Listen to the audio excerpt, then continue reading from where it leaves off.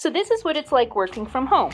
I have two dogs, a Cane Corso on the bottom, named Minerva, and Ajax, the Rhodesian Ridgeback. They're both puppies. Minerva's a puppy. She's about a year and a half old, and she weighs 130 pounds, and that's Ajax over there.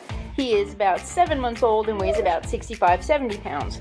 They only ever like to wrestle and complain and make noise and beg for my attention when I'm trying to film videos. If you think this is cute, working from home with the weight of two dogs combined more than you, and you would like to share in my hell, click on the comment box below, then like and subscribe. Hey Mimi, where's that big doggy nose? There's a big doggy nose.